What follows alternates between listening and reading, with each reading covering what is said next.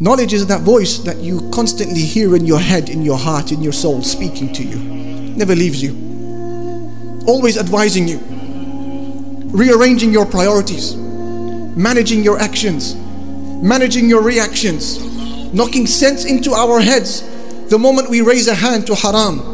Or our eyes to haram or our ears or wealth to haram. Knowledge screams at you. It says, What are you doing? Don't you fear Allah? Have shyness of Allah. Where is your haya? This is the benefit of knowledge. It is such a loyal advisor. It is such an honest friend. Never leaves you alone, taking you by the hand, introducing you to the majesty of Allah, reminding you of His divine names and His perfect attributes so that you never consider doing a haram and when you do your knowledge says wait. It screams at you and it stops you in your tracks. This is the purpose of knowledge